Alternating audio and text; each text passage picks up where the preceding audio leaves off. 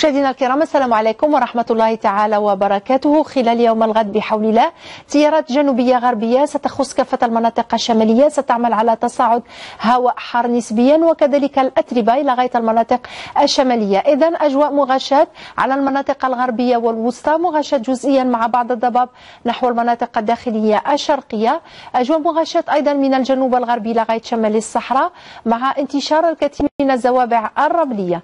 الحرارة خلال ليلة اليوم لغاية فجر يوم الغد تتراوح ما بين 6 إلى 9 درجات بالمناطق الداخلية وما بين 8 درجات بعنابة إلى غاية 12 بوهران. في حدود 11 درجة بغرداية 17 ببشار 13 بتمن راس وما بين 16 إلى 17 درجة من الصحراء الوسطى نحو أقصى الجنوب. الحرارة القصوى ستعرف ارتفاع محسوس يوم الغد تصل إلى 31 درجة بوهران وتلمسان 26 درجة بالعاصمة بتيزي وزو وعنبة ما بين 19 إلى 22 درجة من البيض نحو باتنا في حدود 27 درجة بشمال الصحراء وترتفع إلى غاية 34 درجة بالصحراء الوسطى وتقارب 36 درجة بأقصى الجنوب. البحر سيكون مضطرب على كافة السواحل رياح معتدلة أحيانا قوية بسواحل الوسطى والغربية. تأتي ضمن تيارات جنوبية شرقية أحيانا شرقية تماما بسواحل الشرقية. يوم الثلاثاء بحول الله أجواء مغاشاة على كل المناطق الشمالية.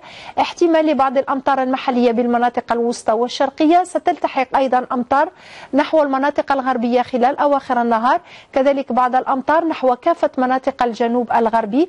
الحرارة تبقى مرتفعة. يوم الأربعاء بإذن الله تراجع لدرجات الحرارة ولو طفيف نحو المناطق الشمالية مع أجواء ملبدات. تقريبا أمطار رعدية ستخص كافة المناطق الغربية والوسطى للإشارة رياح قوية نسبيا على المرتفعات الوسطى وكذلك الشرقية وبعض الأمطار التي ستخص منطقة السوراء لغاية منطقة الواحات. يوم الخميس بحول الله تراجع لدرجة الحرارة مع أجواء غائمة على المناطق الوسطى والشرقية. تكون مرفوقة بأمطار أحيانا رعدية. بعض الأمطار أيضا التي تبقى تخص المناطق الغربية وأجواء مغاشاة بشمال الصحراء. درجة الحرارة الحرارة لن تتعدى 20 درجة بالمناطق الساحلية وترتفع لغاية 36 درجة كعلى مقياس دائما بأقصى الجنوب. وقت شروق الشمس صبيحة الغد على مستوى العاصمة سيكون في حدود الساعة السابعة صباحا. أشكركم على حسن المتابعة ودمتم في أمان الله.